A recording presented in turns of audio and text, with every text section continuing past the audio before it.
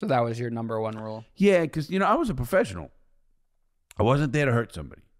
I did my share of hurting in in other ways. I did some bad things to people. I laid guys' arms on curbs and snapped them like a piece of wood, and the bone coming out the out the skin.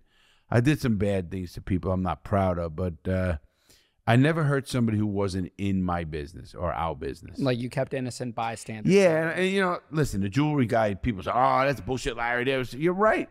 They were a victim.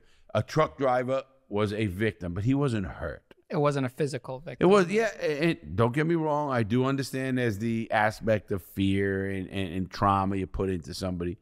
And I just hope they get over it because in life, there's you know, a lot's going to happen. You're going to let fucking something like that ruin you for the rest of life. It's not me that's just going to ruin it. It's the next guy that's going to ruin it.